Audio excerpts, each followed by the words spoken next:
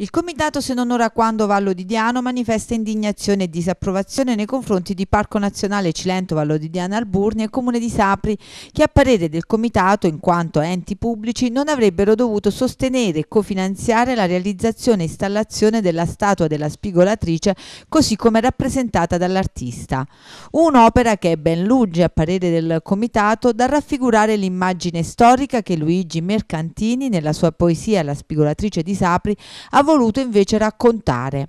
Lo scultore, scrivono dal comitato, ci sembra travisare completamente il ruolo sociale della spigolatrice nonché quello attribuitole dal poeta.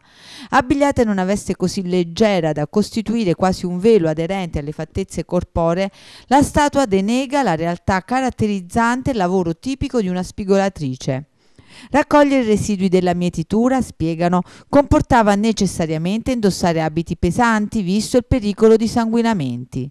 Atteggiata invece l'attuale protagonista dell'opera scultorea, starlet decorata da alcune spighe fungenti da vere e proprie foglie di fico a mo' di richiamo al particolare lavoro agreste, la statua sembra ai nostri occhi rifugire completamente dalla descrizione poetica della spigolatrice fatta da Mercantini. A tal proposito ripropongono anche il commento della storica d'arte Chiara Savettieri che esprimendosi sull'opera ha evidenziato la spigolatrice una donna umile e coraggiosa che sposa la causa causa antiborbonica e che sfida anche la consuetudine per cui gli uomini combattono e le donne stanno a casa. Invece vediamo una pin-up simile a quelle di certe trasmissioni tv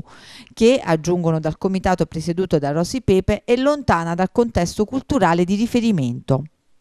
Una rappresentazione che a parere del comitato non doveva essere avallata da istituzioni come l'ente parco presieduto da Pellegrino e il comune di Sapri guidato da Antonio Gentili, ancor più se si tratta di rappresentanti istituzionali che si dicono contrari ad ogni forma di violenza di genere. Riteniamo, scrivono dal comitato, che un'operazione del genere, ossia la versione sexy della spigolatrice, non debba essere avallata dalle istituzioni pubbliche cofinanzatrici dell'opera, quali il Parco Nazionale Cilento Cilento, Vallodidiana e Alburni, nonché il comune di Sapri. È pur vero che la spigolatrice della poesia di Luigi Mercantini è un personaggio di fantasia, continuano dal comitato, ma la sua storia è diversa da quella di una donna con i glutei al vento. Indubbiamente era nelle piene facoltà del sindaco Gentile e della sua amministrazione comunale predisporre una siffatta statua per la cittadina capofila del Golfo di Policastro, ma senza alcun riferimento alla spigolatrice di risorgimentale memoria.